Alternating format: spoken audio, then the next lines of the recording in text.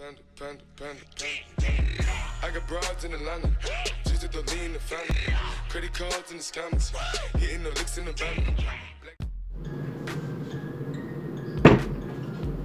Tänään taas unboxausvideota, tai ei taas.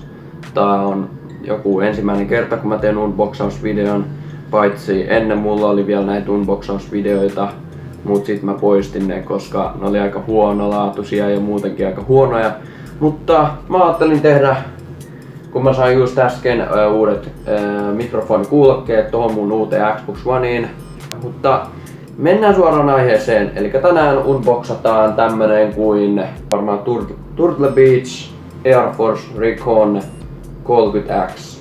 Mut kuitenkin lähdetään avaamaan tätä, tätä nytten. Tää on todella ärsyttävää, kun tässä pitää aina olla jotain teippejä kiinni. No niin, nyt ärsyttävät teipit on irrotettu. Nyt pitäisi saada ihan normaalisti täältä kuulokkeet. Oho, tää on vähän tiukasti kiinni, eikä täälläkin ole teippiä. Ei ole kuitenkaan. Eli tuossa näkyy sen pystyy yhdistää tuohon ohjaimeen tolleen kiinni hyvin. Ja täällä itse kuuloke onkin.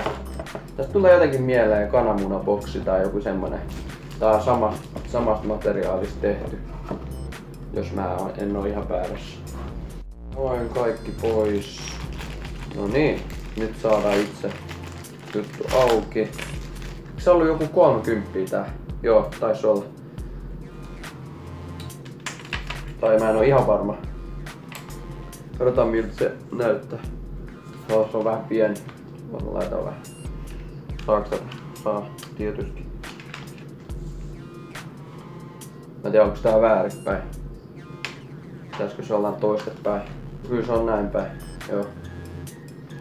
Sitten näin. Sitten siinä on tää, mitä kuulokkeissa tarvitaan. Sitten täällä on taas joku teippi jäänyt. Tos näkyy noita. Toi on eh, silleen, että se laittaa äänen päälle, eli sun ääni kuuluu. Ja sitten kun laittaa ton alas, niin tulee mute silloin. Ja sitten tosta, tosta pystyy laittaa sitten tätä ääntä korkeammalle ja sitten hiljemmalle.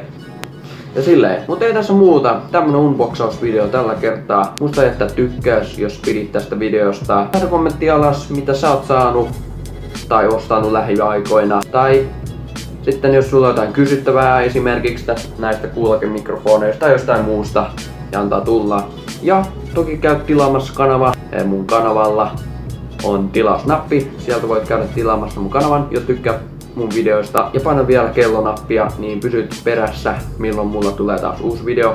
Mut kuitenkin, tämmönen video tällä kertaa, se on mun puolesta. Morjens!